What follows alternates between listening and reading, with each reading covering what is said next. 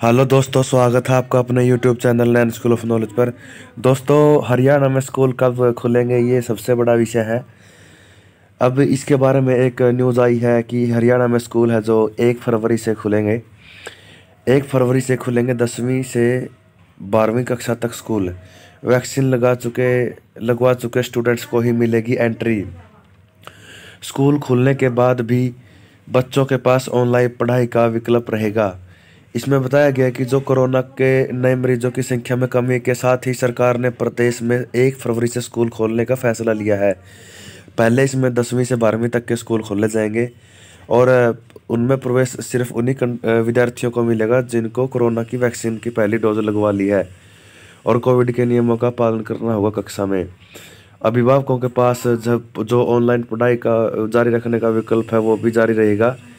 शिक्षा मंत्री हैं जो कौरपाल गुज्जर सिंह ने, जो मनोहर लाल के साथ चर्चा के बाद यह फैसला लिया है कि नौवीं के बाद स्कूल खोलने का निर्णय बाद में लिया जाएगा। बता दें कि स्कूल है जो वो एक जनवरी से बंद है। अब एक फरवरी से दोबारा से खोला जाएगा। वो दसवीं से बारहवीं तक की कक्षाएँ शुरू होंगी और नौवीं तक की कक्षाओं को बाद में उनके बारे में बताया जाएगा। जो छिहत्तर फ़ीसदी विद्यार्थी हैं, उनको वैक्सीनेशन लग चुकी है। प्रदेश में जो छिहत्तर परसेंट विद्यार्थी हैं, उनको वैक्सीन की पहली डोज लग चुकी है।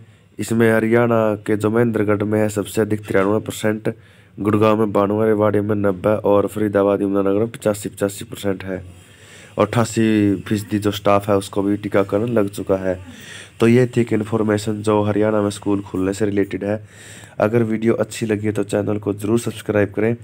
वीडियो को लाइक करें। धन्यवाद। जय हिंद।